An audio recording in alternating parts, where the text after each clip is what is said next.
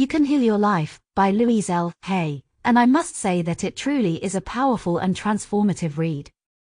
The book is all about the power of positive thinking and the role that our thoughts play in shaping our reality.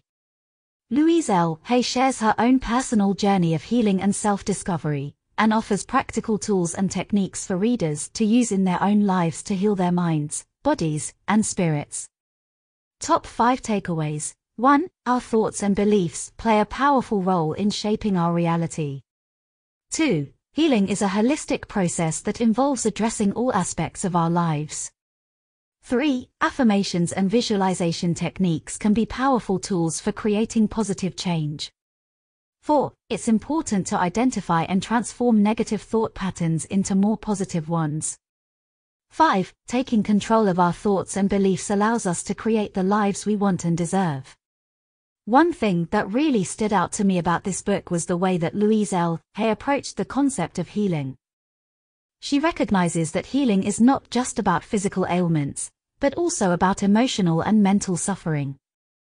She encourages readers to take a holistic approach to healing, addressing all aspects of their lives in order to achieve true health and happiness. Another thing that I really appreciated about You Can Heal Your Life was the way that Louise L. Hay broke down the different areas of our lives that can be impacted by our thoughts and beliefs. She discusses how our beliefs about ourselves and the world around us can affect our relationships, our careers, and our overall sense of well-being. She also delves into the power of affirmations and the role they can play in helping us to create positive change in our lives.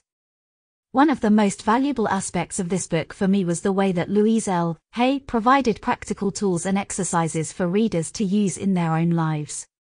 She offers a variety of affirmations and visualization techniques that can be used to help us create the lives we want. She also provides a list of common negative thought patterns and the corresponding affirmations that can be used to transform those thoughts into more positive ones. Overall, You Can Heal Your Life is a truly inspiring and empowering read. If you're looking for a book that will help you to tap into the power of positive thinking and take control of your life, I highly recommend giving it a read.